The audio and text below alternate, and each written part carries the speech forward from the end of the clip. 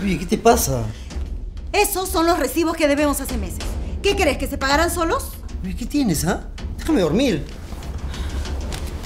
Es el colmo. Pedro, no ayudas en los quehaceres de la casa. No pagas el colegio, no haces nada. Laura, la situación en el país está difícil. ¿Qué quieres? ¿Que me a robar? Eres un sinvergüenza. Mínimo deberías llevar a la niña al colegio, ¿no? Todavía es muy temprano todavía.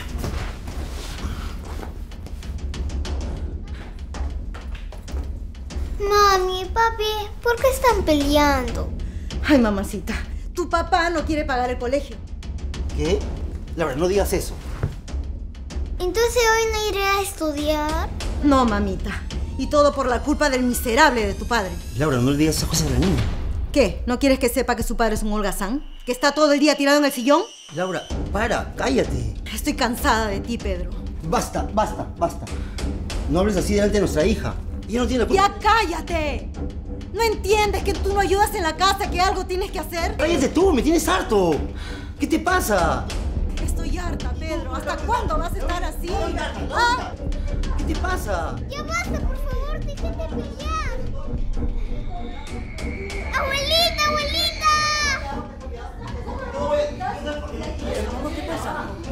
Oigan, ya. Basta. ¿Pero qué les pasa? ¿Saben qué? Voy a llevar a Lucianita al colegio. Y cuando venga, voy a hablar seriamente con ustedes. Vamos, mi amor, vamos a tomar desayuno.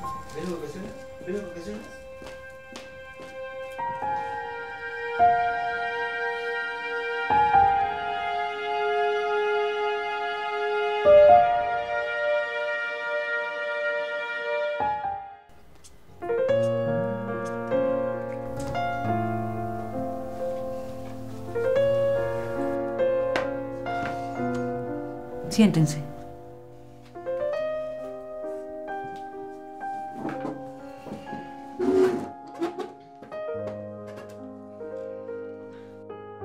Mamá, perdóname por lo que pasó ahora. Pero es que Pedro es muy irresponsable. Hace meses que no trabaja. ¿Tú qué sabes? Solo te dedicas a criticarme. Debo felicitarte entonces. Ya vas a empezar de nuevo. Ay, no. Ahora van a empezar a discutir por quién tiene la razón. Pero mamá, tú deberías de estar de mi lado. Hija, no se trata de estar del lado de alguien. Aquí no existen bandos. Aquí vive una familia.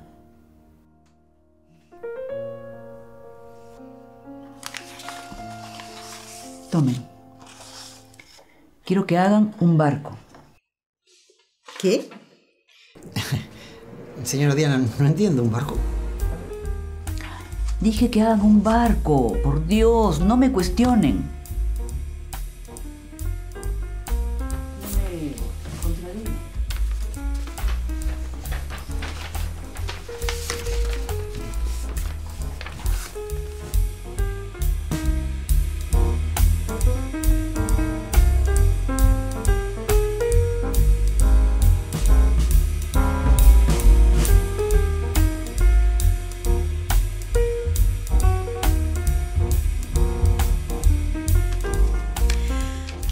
¿Contenta?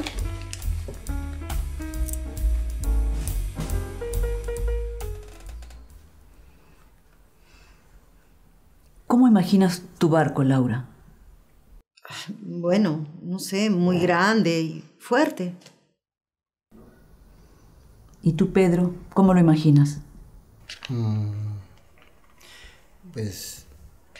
Tranquilo. Bueno, esta familia es un barco. ¿Y saben ustedes qué es lo que lo diferencia? ¿Qué es lo que lo hace especial? No, mamá.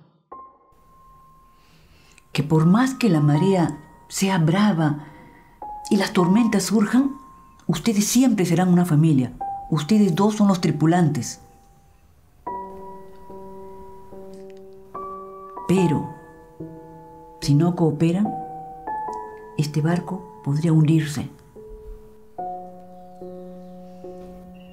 Si ustedes quieren que su hija esté bien, tienen que protegerla, prepararla y amarla para que no sufra cuando ella le toque navegar por la vida.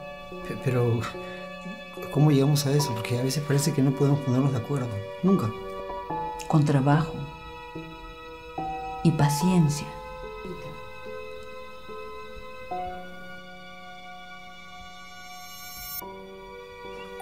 A ver, respiren.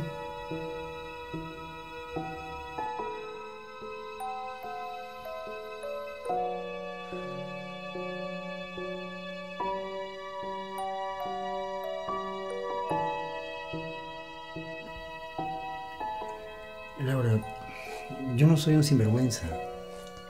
Yo estoy buscando empleo y me siento mal de, no encontrar algo decente para, para sostener este hogar.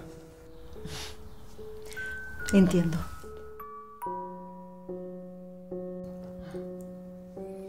Bueno, es hora de ir por Lucianita. ¿Vamos? Bueno, vamos juntos. Mamá, muchas gracias por los consejos.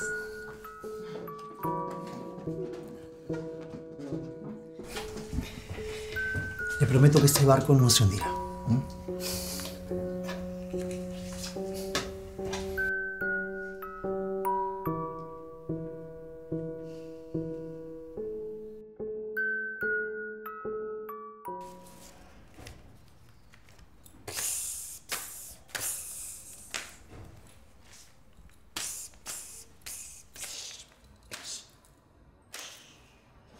Lucianita, hijita, quería decirte algo.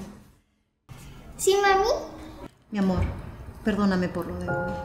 No debí gritar. A veces los padres tenemos momentos difíciles y desacuerdos, pero tu papá y yo nos amamos. ¿Sabes? En la mañana nos dijimos muchas cosas que no sentíamos en el corazón. Estaba muy asustada, hija, perdóname.